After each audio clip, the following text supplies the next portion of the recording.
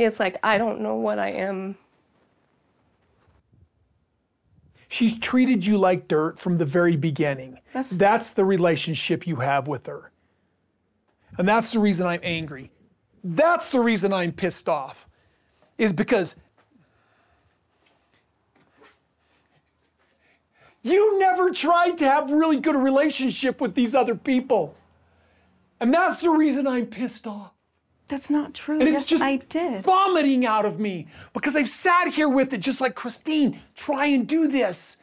You wanted to re- renegotiate a relationship with me, but you wouldn't even have a decent one with them. Oh, Always about the kids. That was the easy part.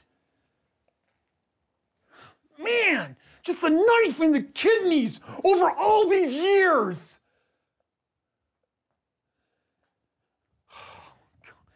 And the sacrifices that I made to love you.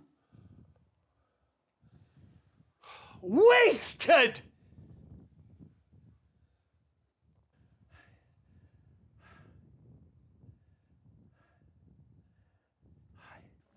But accountability is what I've been asking for here.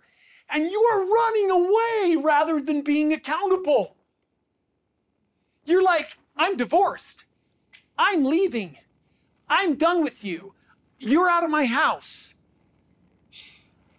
Instead of actually making the relationships work and trying. If you're not trying to be your best self in this relationship or in this family, then you are wasting your time. Marriage is a call to be better than you are. Plural marriage is a higher call.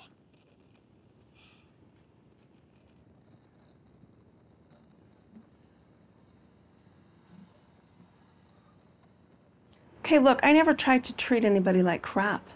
I never oh tried. I never did. But you did. well, I'm sorry. I did on to. people so much. I didn't mean to. Oh, gosh. And you admitted to it and you couldn't correct it. And now we're sitting here with a broken family over it. And you're like the freaking Pied Piper. You're trying to take the kids No, that's with not you. even okay.